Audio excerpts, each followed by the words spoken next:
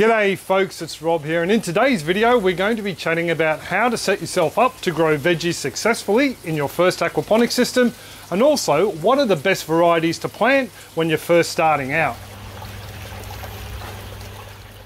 Now before we get into what plants grow best in a brand new aquaponics system, I thought I'd touch on a couple of pointers for you folks that are new to aquaponics growing method so you can grow healthy, tasty veg as soon as you turn on the water pump for the very first time. Now after an aquaponic system is set up and the water is flowing, you're going to need to cycle the system before you add the fish. Now for you folks new to aquaponics, cycling the system means that we need to create a nitrogen cycle within the ecosystem that is the aquaponic system. We need to do this to transform the ammonia produced by the fish into fish-friendly and plant-available nitrates. What I'll do for you folks new to aquaponics is I'll leave a link down in the description that covers how to cycle an aquaponic system and also runs through some of the equipment you're going to need just for you aqua-curious folks who are thinking about building your own system. How a system is cycled can greatly affect the number of plants you can start off with and how well they're going to grow for you. A lot of people cycle their system with a straight ammonia source like pure cleaning ammonia that contains no scents or other additives. Just a heads up for you Aussies, uh, pure ammonia is unavailable here as a cleaning product. Our cleaning ammonia has other additives that are not good for the fish or the plants in the aquaponic system and actually can be a little bit toxic. Now there is an ammonium source us Aussies and other folks around the world can use and it's called ammonium chloride. It's available from places like soap making suppliers and it's also used in the aquarium hobby trade as the ammonia of choice for cycling those smaller fish tank systems. One issue you will find when you are cycling a system only with an ammonia based source is that you're only adding one element and that's ammonia which ultimately turns into nitrate. Now nitrate is a great source of nitrogen for the plants but plants require more elements to grow than just nitrogen. Many folks that cycle with just ammonia will find that their freshly added seedlings start to look very pale, often yellow, after a week or so. It's not that lush green growth they were expecting to see straight up. Now to help with any deficiencies that you may have by just adding ammonia, you can add in something like a liquid or a powdered kelp supplement. It's going to help with a lot of the deficiencies because you're only getting the ammonia or nitrate in the system. So a little bit of that doesn't hurt when you're cycling a system. And not only that, it is fish safe as well. So after the cycling process has been completed, you can continue to add it into the system just to help out with any deficiencies that you might find. When it comes to cycling, I prefer to use a fish emulsion called Charlie Carp, made from the invasive European carp that we have here destroying our waterways in Australia. It's only available in Australia, but there are very similar fish emulsion products available around the world, such as MaxiCrop Liquid Fish.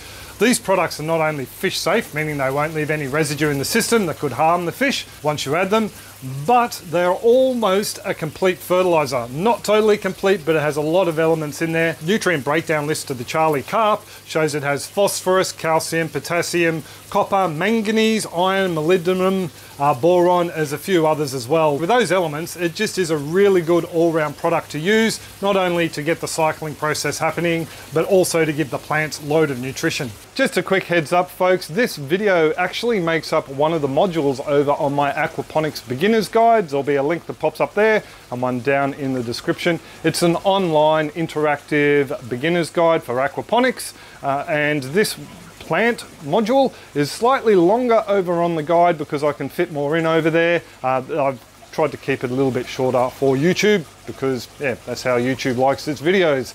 So if you'd like to purchase the guide, by all means, pop on that link down there. There'll be a little discount code that scrolls across the screen in a minute, and you can use that to get $5 off for the first five people who use that code. So yeah, um, check out the guide if you're interested in learning more about aquaponics. That's enough of me spruiking, back to the good stuff. Now, even though you may have cycled the system using a fish emulsion based product or supplemented the ammonia you've added with a little bit of kelp product, we're still going to need to keep in mind that you're most likely going to be adding very small young fish once the system is cycled. Now these fingerlings will not be consuming a large amount of feed, therefore not providing a lot of nitrate and other nutrients for the plants to take up. Now, unfortunately, I see many folks start to cycle their system and fully plan out all the beds with a load of tomatoes, greens of various varieties, herbs, capsicum, sweet peppers, after getting pretty bad advice, quite frankly, of social media groups or dodgy websites. Now, the truth is, there just is not going to be enough nutrition in the small amount of fish feed your fingerlings require to be able to sustain a fully planted out aquaponic system. So what we're going to need to do is work out how many plants our system can sustain on the small amount of feed we'll be giving our newly added fingerlings. Now just a quick heads up on the feed calculations for commercial aquaponic systems. They're a lot more in depth. We're dealing with backyard aquaponics systems here, so a lot of the figures I'll be using will be generalizations. Now to kick us off, we'll look at an example of the amount of feed consumed by 25 jade perch fingerlings that weigh approximately 5 grams each. And I will be working in grams as a unit of measurement, but as fish feed rates are calculated by percentage of weight, you folks in the United States should be able to get the basic idea. In this example, we'll say a 5 gram fish generally consumes around about 2% of its body weight twice a day. And the easiest way to work out the total amount of feed needed to be given to our 25 fish is to find out the total biomass, biomass being the total weight of the fish in the fish tank, and then work out the 2% from there. Now 25 fish at 5 grams each give us a total biomass of 125 grams in the fish tank. 2% of 125 grams is 2.5 grams. Now as we're feeding the fish twice a day, that gives us a whopping total of 5 grams of fish feed per day that will be ultimately passing through the fish and become food for the plants in the grow beds. As to the amount of fish feed that needs to enter the system so the plants can grow nice and healthy varies depending on which source you look up online. It's generally calculated as X amount of feed at a particular percentage of protein per X amount of surface area the plants are grown in. Now the feed most of us use to feed our fish in our backyard aquaponic systems run protein wise around about 30 to 45%. Now for my own system, I like to use roughly around about 20 to 50 grams of fish feed per one square metre or nine square feet of grow bed space for basic leafy greens and herbs as they have relatively low nutrient requirements. Now when it comes to my fruiting plants, I prefer the feed rate to be over 50 grams per square metre or 9 square feet, just because those plants do tend to be a little bit more nutrient demanding. Now back to our measly little 5 grams of fish feed for the fingerlings. As you can see, it's not going to support a lot of plants when we first start out. What I'd recommend is you start out with 5 to 10 small leafy greens or small herb plants to begin with, as these plants have relatively low nutrient requirements. You can then monitor the nitrate levels regularly with the test kit that you use to cycle your system and you can add in new plants as you find the nitrates start to climb. By all means, put those seedlings in there as soon as you start to cycle because in no time flat, the nitrates will turn up and the plants will be able to use them. One thing you can keep adding to keep the plants healthy is the kelp or seaweed additive as it has very little if any ammonia or nitrogen and it is going to help provide some extra potassium. It's fairly high in potassium as well as other microelements that may not be in abundance in the waste provided by the fish after they assimilate the food. As the fish do put on more size, they will require more feed naturally and you're going to see this reflected in the nitrate test results as the levels rise, you can start adding in more plants to the grow beds. I hope that helps you get your head around uh, the nutrient cycle when you first start off an aquaponic system and just how much is actually in there um, for when you plant out. Now on to what are the best plants to actually stick in the grow beds once you start cycling the system. Now the best advice I can give you when it comes to deciding what to plant out in the grow beds first off is plant out what you like to eat.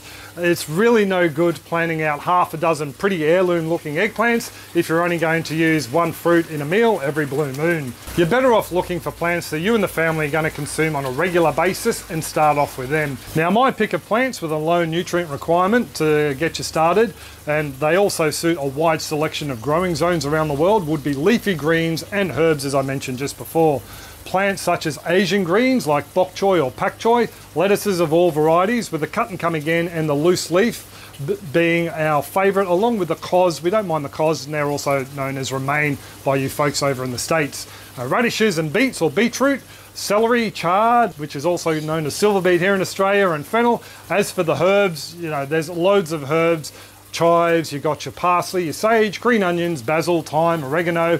They're also great selections when you're just starting off. I do hope that this video has helped you folks out who are new to aquaponics and looking for a little bit of information so you can start up your own system. I'd also like to thank you folks who do turn up every week uh, just to say good day when I post these videos to YouTube and Rumble. I really do appreciate it. And don't forget, we also do have our shop and our aquaponics beginner's guide if you'd like to help support the channel that way. But anyway, I will pretty much well leave it there. I do hope that you are all well and happy and your own gardens and aquaponic systems are booming. And I'll catch you next week. Cheers, folks, and happy growing.